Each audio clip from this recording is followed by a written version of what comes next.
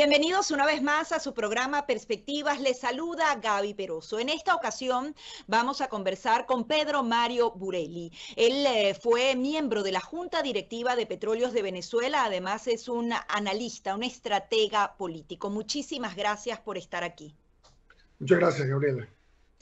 Eh, quería comenzar con eh, lo que sería su reacción. Usted ha seguido muy de cerca lo que es la política de Estados Unidos hacia Venezuela. Hicieron una aclaración que no sabemos si eh, más bien beneficia a Nicolás Maduro al asegurar que reconocen que Edmundo González resultó victorioso en el proceso electoral, pero que no lo reconocen como presidente electo. ¿Cómo podemos entender esta declaración?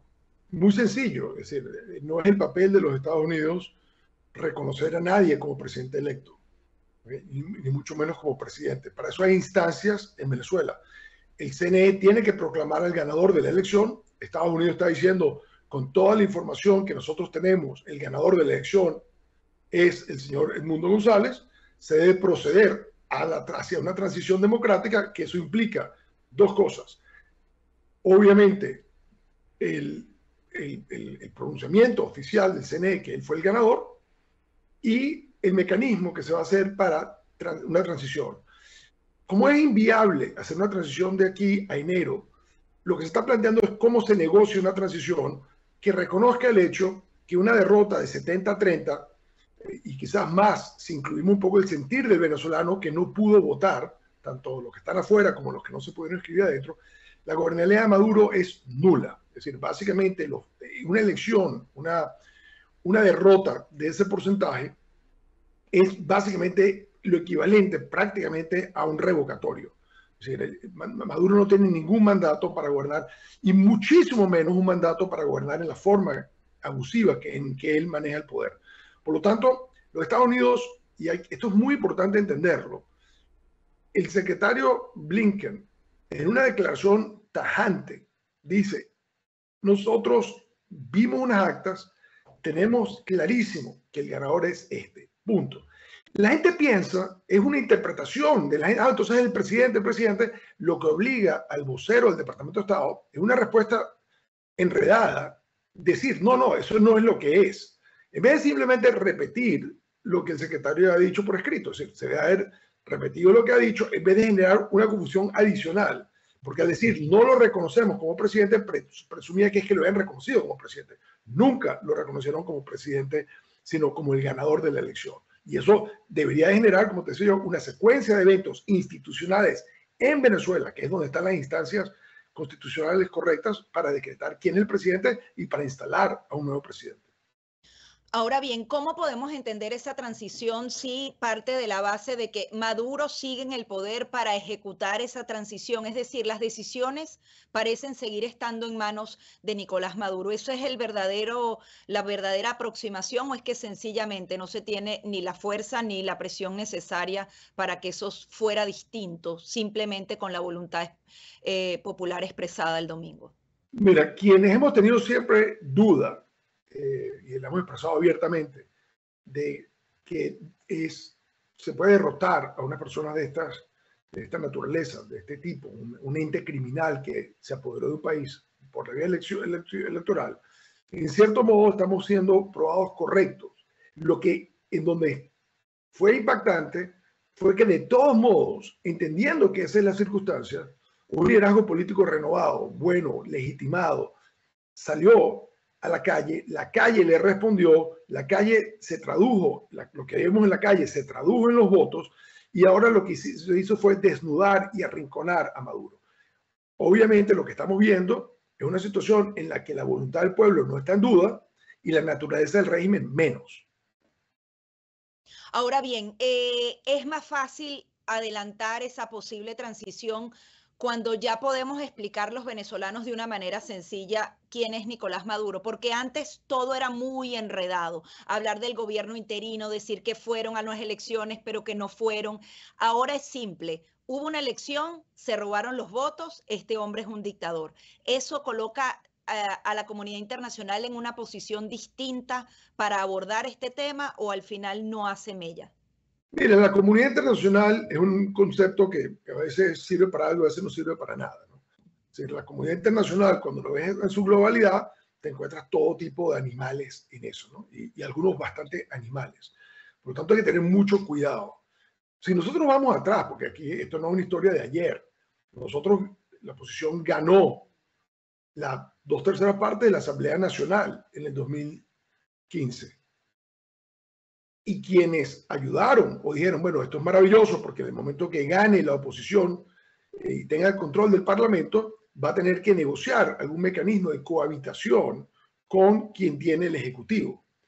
Eso pasa en las democracias, eso pasa en Francia, ¿okay? cuando hay un, un sistema bicameral, eh, digamos, de dos poderes muy autónomos, se elige un parlamento y se elige un presidente. Si no están de acuerdo, tienes que buscar la cohabitación. Siempre difícil, pero es lo que hay que buscar.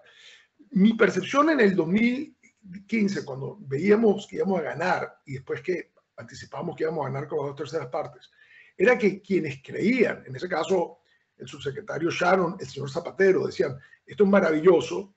Yo, yo le decía, mire, señores, es maravilloso porque demuestra que la oposición es mayoría. Pero la contraparte de esa situación es que la gobernabilidad se fractura. En el momento que el régimen tenga que aceptar y anunciar que la mayoría absoluta de la, Asamblea Nacional está en manos de la oposición, van a hacer todo lo posible para destruir esa instancia y lo que vamos a ver es que se va a destruir, el último elemento de posible convivencia democrática se va a destruir. Y el señor Shannon en particular, que se, se vendía como el gran experto en Venezuela y llevaba 17 años de que había estado en Venezuela como consejero político, era decir, señor, usted no ha entendido la naturaleza de este régimen. Este régimen no coopera, no cohabita, no negocia, nada. Y lo vamos a ver. a partir de esta elección del 2015, van a ver que no hay ninguna elección democrática que esto van a respetar. El susto de no haber podido trampear esa elección como pensaban trampearla, lo va a llevar siempre a hacer trampa. Eso nos llevó a la elección de, la, Asamblea Legislativa, de la Asamblea Legislativa falsa del 17, donde inventaron una cantidad de, de votos y Smartmatic huyó abandonó Venezuela a raíz de ese fraude, la del 18 que nadie, nadie reconoció, eh, las de Barinas, que la vimos, la farsa que fue, algunos lo utilizaban como ejemplo, pero en el fondo no, es decir, iba a ser, ganó quien quería el régimen que ganara y, y, obviamente el que verdaderamente ganó la elección hoy día está siendo torturado por el régimen. Y llegamos a esta elección en que yo creo que ellos de alguna forma hoy, o trataron de pararla y no pudieron, o se la, a robar de forma más elegante y no le quedó ningún remedio que robársela de la forma más burda posible. Ahora, quería también tu interpretación sobre las posturas eh, eh, tibias o eh, posturas que, al final no llegan a nada de México, de Brasil y de Colombia porque quisiera separar un poco el tema de Chile. Además hubo esta reunión, pospusieron la declaración. En primer lugar, esa votación en la OEA, las abstenciones de estos tres países y lo que ha seguido eh, con, con, declaraciones que van y vienen y que podrían interpretarse de un lado y de otro. Por ejemplo, el mensaje de Gustavo Petro es súper ambiguo y lo podría tomar un lado y otro de una manera correcta. Bueno, es que estamos hablando de tres personas que son particularmente ambiguas, eh, de muy, muy dudosa moralidad, eh, y yo creo que comprometidos de formas poco transparentes, no solamente con Venezuela, sino con el submundo de Venezuela, que es el narcotráfico. Entonces yo creo que hay que tener mucho cuidado aquí. ¿no? Estos señores quedaron, los tres quedaron atrapados en una retórica que les salió al revés. Ellos le pidieron durante, desde que llegó la administración Biden, le pidieron al Biden que flexibilizara, que quitara sanciones, que Maduro iba a responder correctamente. Y aunque la gente les cuesta creer esto a raíz de er, errores que ha cometido la administración Biden, Biden, que como senador, como presidente del Comité de Política Exterior y como vicepresidente, fue siempre muy duro con Maduro, inclusive como presidente en su primer año lo fue, siempre le decía a estos señores, bueno, perfecto, nosotros estamos buscando una manera de ver qué hacemos, de cambiar un poco, a ver si hay incentivos que cambien la conducta del señor Maduro, pero si fracasamos, ¿ustedes qué harían? Entonces, en ese fracasamos, ¿ustedes qué harían? Generó todos esos comentarios que salieron de Petro, de Lula y eso antes de las elecciones, en que la gente percibía una posición más dura a esos países. Pero cuando llega el momento ahora de enfrentar a Maduro frente a lo que ha sido un hurto vulgar, masivo, único, histórico, se paralizan porque ahí es donde entran las complicidades, las relaciones raras, las relaciones turbias que hay entre el chavismo histórico y el narcotráfico y estos personajes. También en el caso de Lula, Lula como expresidente, ya expresidente con Dilma Rousseff de presidenta y antes de entrar a la cárcel, él se dedicó a ser el cobrador de las grandes empresas brasileñas y el que pagaba era Maduro. Es decir, que yo creo que Maduro debe saber bastante sobre Lula como para tenerlo nervioso en cuanto a qué tan directo y tan frontal puede ser. De Petro ni siquiera vale la pena hablar. Yo creo que Petro es un ser completamente contrahecho, amoral, mentiroso, torcido. Yo, creo que, yo creo que la figura de Petro realza casi que al chavismo, porque es algo peor todavía que el chavismo. Y hablo es tal vez uno de los personajes más enigmáticos que hay, cuyo gobierno de darle abrazos a los narcos, narcos que se nutren y, tienen eh, su fuente de suministro de, de, narcóticos, de la estructura de producción de narcóticos que tiene el Estado venezolano, tú dices, bueno, ¿cuál es el enredo que hay aquí? ¿De dónde está? Además hay otro tema muy importante en el caso de AMLO. AMLO en la OEA y en su lucha contra el magro, básicamente es el vocero de Cuba. parece mentira que un país del tamaño de México sea siempre nariciado y siempre sea el títere en política exterior en estos temas de La Habana. Entonces, cuando uno ve a AMLO, imagínate tú ver a La Habana. no es el México poderoso, el México que tiene una relación de intercambio comercial con los Estados Unidos de casi 900 mil millones de dólares. No, es un México rastrero, es un México de izquierdoso, resentido, que básicamente le hace el trabajo sucio a Cuba. Sí, sí, lo vimos en la Cumbre de las Américas que trataban de generar ese paralelismo cuando lo celebraron acá. Vamos a hacer una breve pausa, pero al regreso quiero analizar junto a usted los posibles escenarios que podrían venir de países como Colombia. Vamos a hacer esta pausa y ya venimos con más de su programa Perspectivas.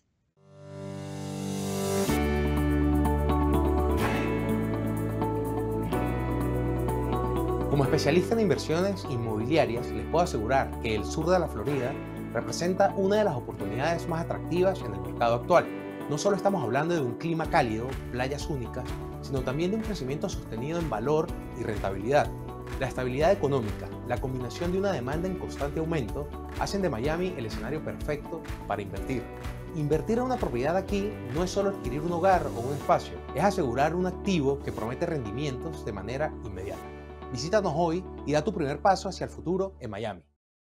Continuamos con más de su programa Perspectivas, conversando con Pedro Mario Burelli. Él fue uno de los miembros de la Junta Directiva de Petróleos de Venezuela y también es analista político. Se han planteado dos escenarios. En primer lugar, dicen que, bueno, que Colombia le va a poder pedir a Nicolás Maduro que hable eh, cara a cara con Edmundo González y que a partir de allí empiece un proceso de negociación. Y por otro lado está esa supuesta vía a través del Tribunal Supremo Supremo de Justicia, que obviamente es controlado por Nicolás Maduro, de anular las elecciones y volverlas a hacer. Los dos escenarios son fatales para lo que ha logrado la oposición. ¿Qué cree usted que puede pasar y cómo ve estos escenarios que en definitiva le dan tiempo y fortaleza al régimen? Bueno, primero que nada hay que tratar de entender qué fue lo que pasó el domingo y qué fue lo que hizo Nicolás Maduro. Yo voy a decir algo que puede sorprender. Pero lo que hizo Nicolás Maduro el domingo es totalmente lógico para alguien en sus circunstancias. Tenemos que demasiado que, perder. Exactamente. Es decir, Maduro está consciente de todos los crímenes que ha cometido, sabe perfectamente las consecuencias de todos esos crímenes y es lógico que tenga miedo a perder lo que le da impunidad, que es el poder que usurpa. una persona que no le importa nada es porque lo que tiene que el costo de perder la elección es mucho más grande que el costo de robársela. Entonces, su comportamiento es racional, racional desde la racionalidad de un criminal. ¿okay?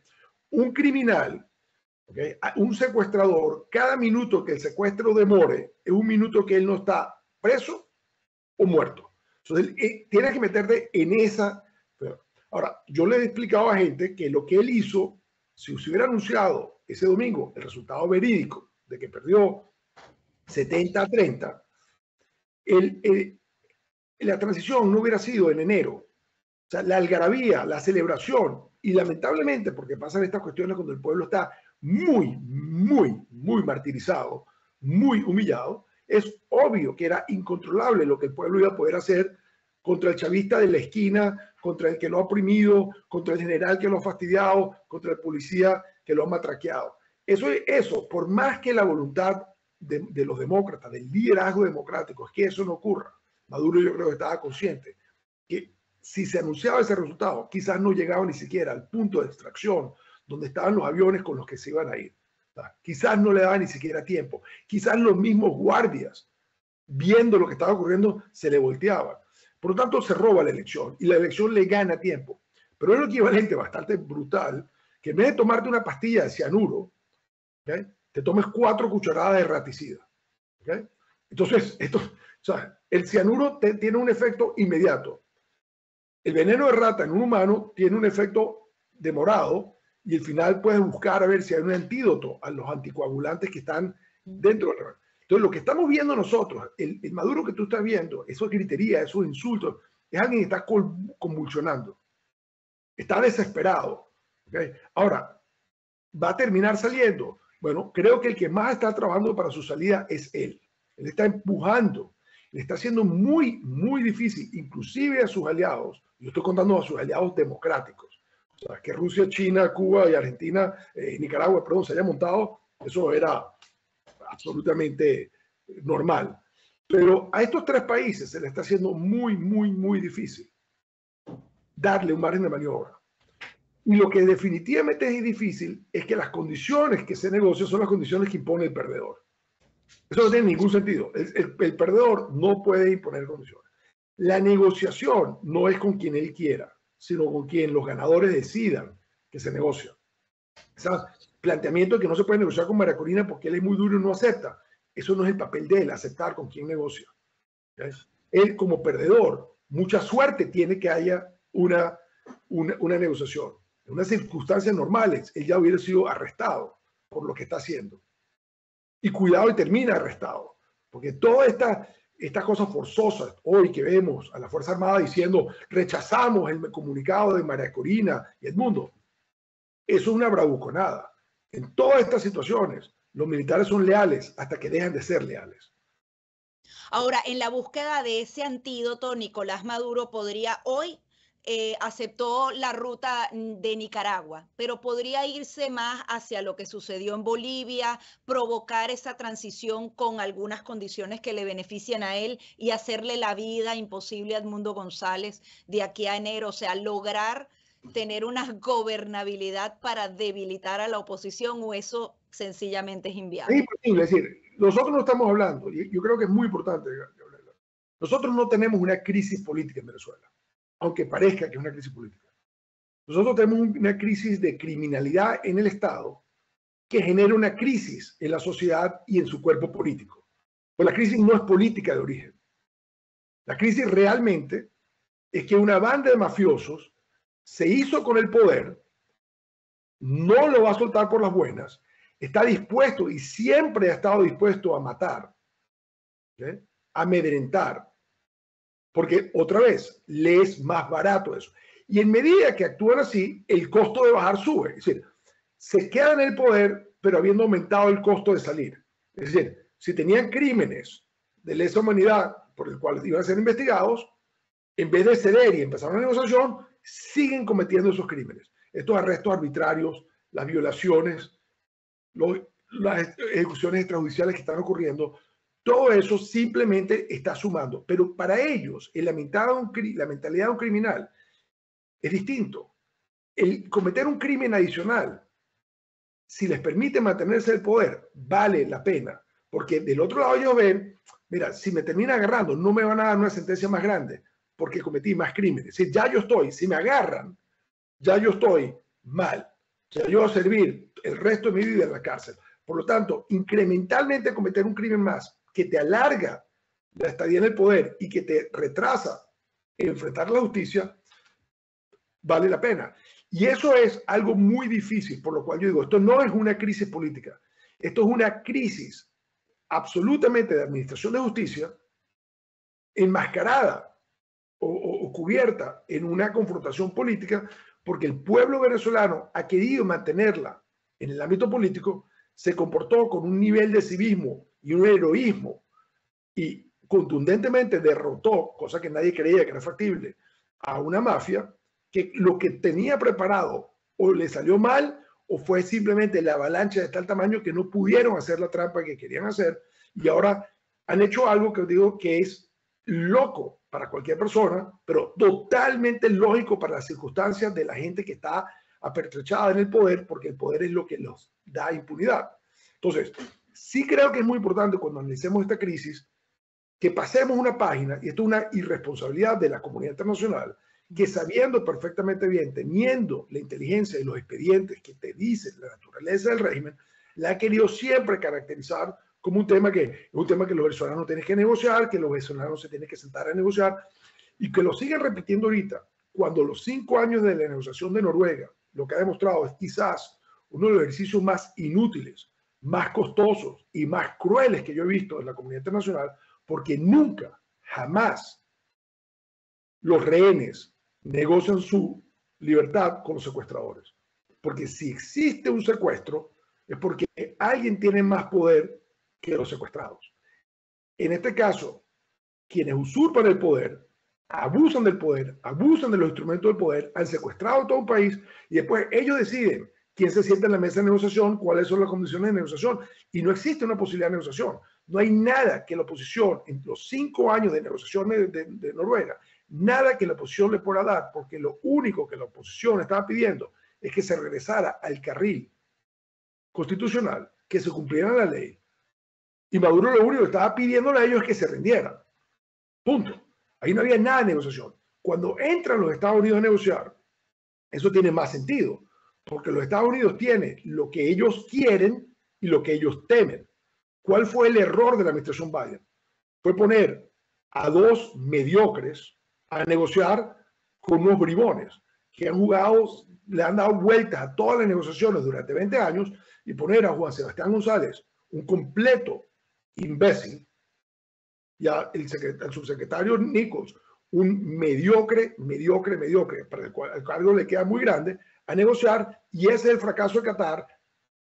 Barbados es una, básicamente es el frente de una negociación que en el fondo se había hecho con los americanos, que se le pone una cobertura para decir que esta es la negociación con la oposición, y todo es un fracaso porque los Estados Unidos, entrando en la negociación, no se dan cuenta, el secretario Blinken y el, y el consejero de seguridad Sullivan y el mismo presidente que si vas a enfrentar a estas mafias que ellos saben quiénes son, tienes que poner al equipo A más, al mejor equipo que tú puedas tener para negociar con esto y no absolutamente un equipo de categoría C o D a negociar y ponernos a nosotros a perder tiempo, a crear falsas expectativas y básicamente a darle más oxígeno a un régimen de esta naturaleza.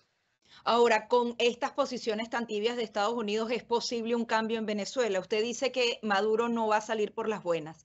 ¿Quién, con qué y cómo lo harían salir por las malas? Eso lo respondemos en la próxima parte. Perfecto.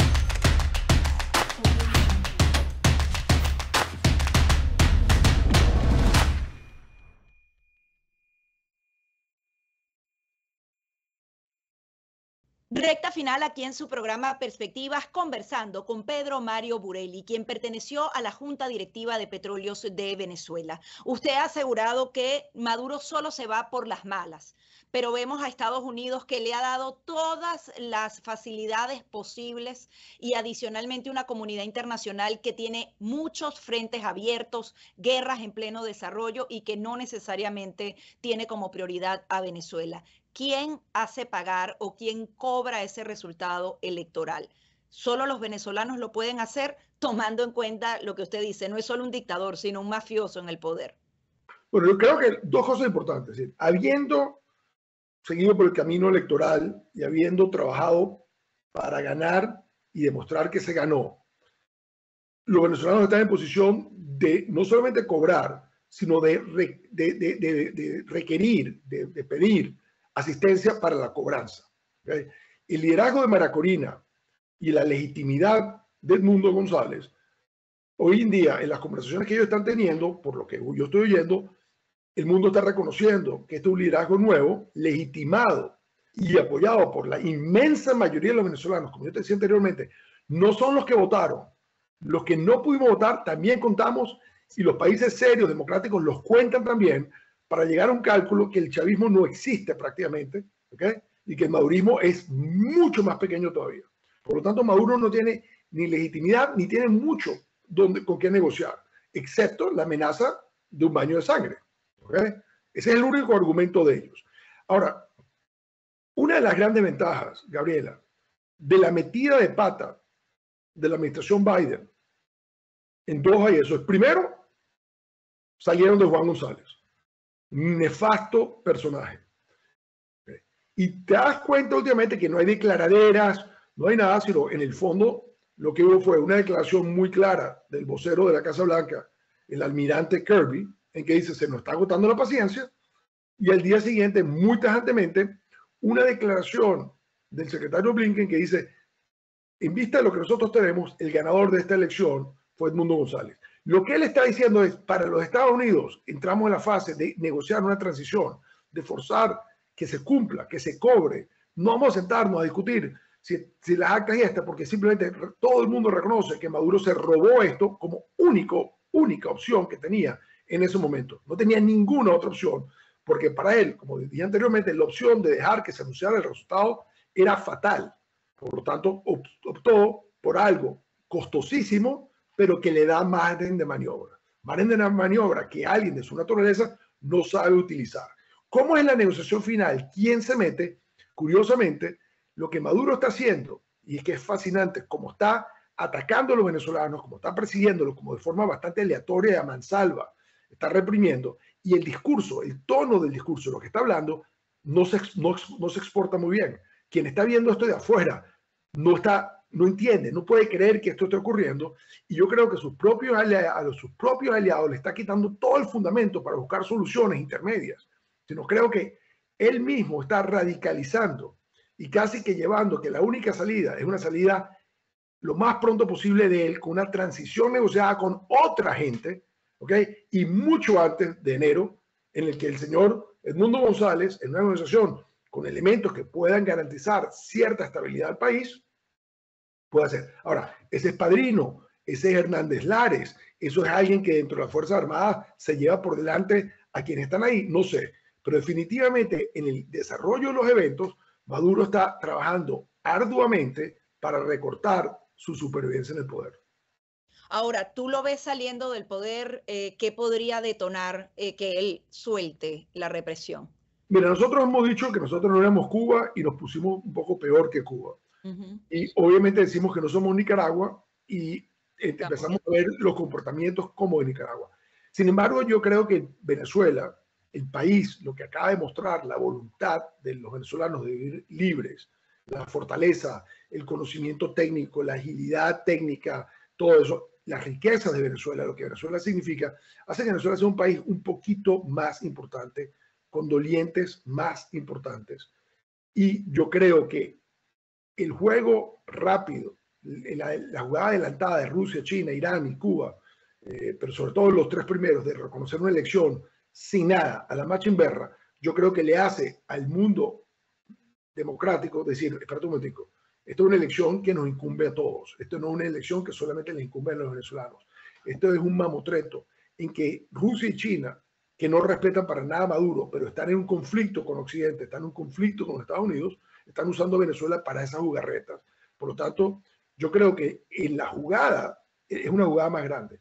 Esto yo siempre he dicho, esto es un problema que lo generamos los venezolanos, una crisis de los venezolanos, pero con repercusiones para toda la región y de hecho para el mundo democrático que obliga a que se metan. Y con complejidades desde el punto de vista de la naturaleza del régimen, de lo profundo de la criminalidad del régimen, de, de cómo está el crimen organizado internacional imbricado ¿okay? en toda esta marama de crimen, que por cierto es la parte complicada, porque tú puedes salir de la cúpula de estos señores inmediatamente después el reto de un nuevo gobierno es enfrentar el legado y lo que quedó montado, que no se ve, no se ve en la superficie porque como el cartel y el, y el gobierno o el régimen son exactamente lo mismo, tú no ves las acciones normalmente que te indican que hay un problema, que son las acciones de contra narcóticos.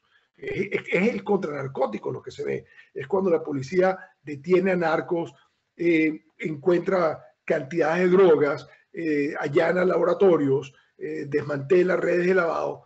Entonces ahí tú te das cuenta que está ocurriendo algo. En Venezuela la gente piensa que no está ocurriendo porque es que resulta que esa actividad no ocurre porque el cartel y el Estado son exactamente la misma cosa. Entonces no lo ves. Pero cuando se te vaya la cúpula, te va a quedar toda esa infraestructura gigantesca en el país el gran reto que va a tener un nuevo gobierno es tomar control del país, tomar control del territorio del país, es sanear el país mientras por otro lado me imagino que vendrá mucha ayuda humanitaria para tratar de paliar al principio, pero va a ser como un trabajo combinado de seguridad y ayuda humanitaria. Es decir, para enfocarnos en la reconstrucción del país vamos a tener que pasar estas dos primeras etapas. Y la realidad, realidad es que 25 años de un Estado criminal que lo empezó a montar Chávez y lo aceleraron Nicolás Maduro y Silvia Flores, eso tiene consecuencias. Ahora, lo que está clarísimo, que lo que estamos enfrentando ahorita, lo que está matando gente en la calle, los tipos que andan en motos discarados, ese es el cartel. Estamos enfrentándonos. Esta es la primera versión de qué pasa cuando la sociedad decide queremos vivir libre del cartel. Esa es la lucha